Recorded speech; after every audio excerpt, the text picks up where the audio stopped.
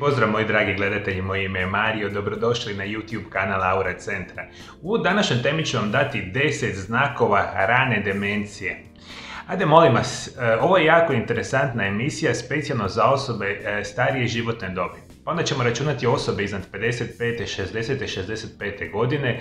Nažalost, u velikom broju slučajeva počinju dobivati rane znakove demencije. I kao u svim problemima i bolestima, a specijalno kada govorimo o demenciji, još posebnije vam želim govoriti o najčešćem obliku demencije koji se naziva Alzheimerova bolest. Ovo mi jako dobro morate shvatiti jer mi u današnjem e, medicini još uvijek nema e, lijeka za Alzheimerovu bolest ili druge vrste dementnih e, dakle, problema sa demencijom koji pogađa sve više i više osoba u svijetu. Ajde molim vas, ovo su neke informacije koje jako malo broj osoba zna. U izuzetno velikom porastu je e, demencija u starijih osoba. Mi kao čovječanstvo, što je jako bitno za reći, sve smo stariji i stariji. Procjene svjetskih zdravstvenih organizacija kažu da ćemo do 2050. godine praktično u svijetu imati preko 100 miliona osoba koji će imati neki od oblik demencija, specijalno Alzheimerovu bolest, Parkinsonovu bolest i sl. Što je jako veliki problem, rekli smo posebno, što je jedan od onih glavnih uzroka nastanka demencije, dakle životna dob. Praktično se računa da će demencija prostati e, jedna epidemiološki problem u velikom broju e, zemalja u svijetu jer zato nam je jako bitno pripremiti se i prepoznati rane simptome ove e, neurodegenerativne bolesti samoga mozga. I mi kada govorimo o samoj e, demenciji, možemo reći da je upravo e, globalno stavljene stanovništva i sve veći broj ljudi koji boluju od neke vrste demencije značajno utječu na kvalitetu života, e, način života i sl. Jer ono što se u suštini događa kod demencije, rekli smo da mi u našem mozgu praktično postoji oko 100 milijarda dakle, moždanih stanica. I one kao takve nevjerojatno bitno rade svaki dan da održavaju našu normalnu funkciju e, našega organizma. Međutim, što se događa sa vremenom, e, mi ćemo shvatiti te naše moždane stanice kao da su male tvornice koji kontinuirano nešto rade, obavljaju i mi zapravo e, govorimo, one primaju zalihe, stvaraju energiju, grade opremu i rješavaju se otpada. Stanice također obrađuju i pohranjuju informacije, komuniciraju sa drugim stanicama, održavanje svega zadržava koordinaciju kao i velike količine dakle, energije, ajmo tako reći goriva i kisika.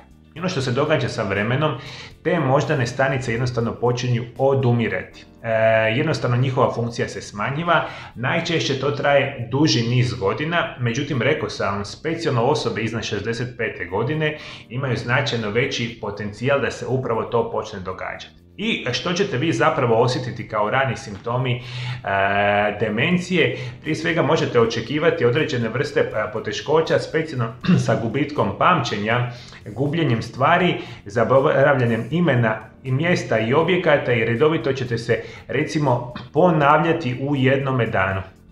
Dogodit ćete se da ćete jednu te istu osobu pitati jedno te isto pitanje možda više puta. Jako lako ćete se odjednom zagubiti u vremenu i prostoru i prije svega rekli smo, nažalost, ovaka vrsta problema i oštećenja prvo napredaju centre za pamćenje. E, puno jednostavnije ćete e, dakle, zaboravljati e, stvari i teško ćete se prisjećati nekih stvari specijalno u bližoj dakle, prošlosti. Ono što još moramo reći, sve već ćete očekivati zbunjenost i dezorientaciju, obsesivno ponavljajuće ili impulzivno ponašanje, zablude vjerujući u stvari koji zapravo nisu dakle, sigurni i zapravo nisu istiniti. Jednostavno zablude kao takve vaš mozak to ne procesuira kako treba.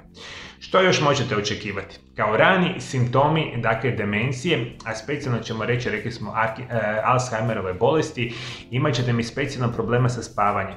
Jedan od onih učestalih ranih simptoma demencije su e, poremećaj spavanja što značajno narušavaju vaš život. Još možete očekivati problemi sa govorom ili jezikom koji se nazivaju afazija, jako česte promjene e, raspoloženja i apsolutno ono osjećaj e, depresije, anksioznosti, straha na puno većoj potenciji nego ikada možda što ste prije u životu dakle, osjećali. I ono sve što se zapravo događa, rekao sam, to su određene degenerativne promjene i oštećenja oštećenja našega mozga koji djeluju na ovu vrstu problematike. Ono što još moramo reći, osjećati će se jako frustrirano, uznemirenije i definitivno ovakve vrste e, problema značajno se pogoršavaju zapravo sa vremenom. I što situacija bude e, naravno problematičnija, dobit ćete one druge jako ozbiljne simptome demencije, a to ću vam nekada pričati u nekoj drugoj emisiji. Dakle, oni ozbiljni simptomi e, demencije, onim e, zadnjim fazama ali teškim fazama, ću vam objašnjavati nekad kasnije, ali ovo su vam rane faze bolesti i oboljenja. I rekao sam kao i uvijek, ključ e, našega života i funkcioniranja našega mozga će biti zdrav način života, zdrava prehrana, redovito funkcioniranje naše mozga zapravo ovisno o svemu ovome. I onda mi možemo očekivati da ćemo biti drugo, e, kako bi rekao, funkcionalni sa našim tijelom i našim organizmom. Međutim, vi ukoliko primijetite ove rane simptome, e, možete u određenoj postotku i tekako smanjiti e, ovu vrstu problematike ako znate kako i na koji način. Zato sam ja tu na mome Aure Centar YouTube kanalu da vam pomognem, pratite redovito moje videozapise, pričat ću vam još puno više o Alzheimerovu, kako se potencijalno liječi, kako ćete kontrolirati ovo bolesti i oboljenje, naravno kako ćete prepoznati i one teže faze bolesti i oboljenja, to ću vam reći u nekim drugim videozapisima. Svi moji dragi gledatelji preko društvenih mreža. Na mome Aure Centar YouTube kanalu imate nekoliko tisuća video zapisa koje sam namijenio svima vama iz perspektive poboljšavanja vašega zdravlja na potpuno prirodan način. Sve što vi trebate ovdje dole ispod video zapisa da se pretplatite na moj kanal, kliknete na ikonu zvona i postati ćete potpuno besplatno dio jedne velike zajednice mojih dragih pretplatnika i pratitelja iz cijeloga svijeta. A ja ću se onda potruditi svaki dan kao i uvijek vam dati nove zdravstvene informacije koje će poboljšati vaše zdravlje. Hvala što me pratite do druge teme. Lijep i ugodan pozdrav.